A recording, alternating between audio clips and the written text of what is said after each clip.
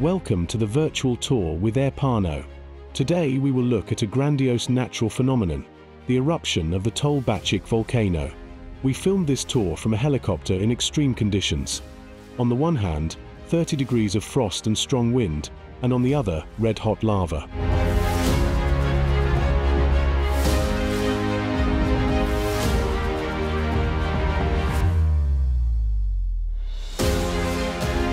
Tolbachik is one of the most spectacular volcanoes in Kamchatka.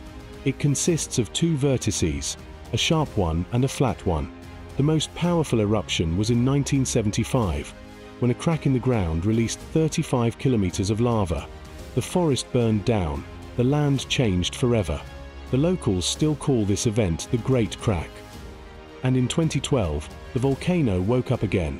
Lava flowed for nine months in a row and it could be observed literally live. That's when we were shooting.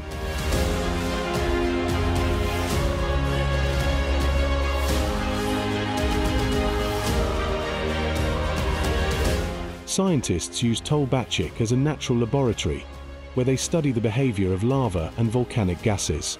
An ideal place for astronauts to train, the landscapes resemble the surface of the moon. The last activity was recorded in 2023. Subscribe to our channel to see even more exciting virtual tours.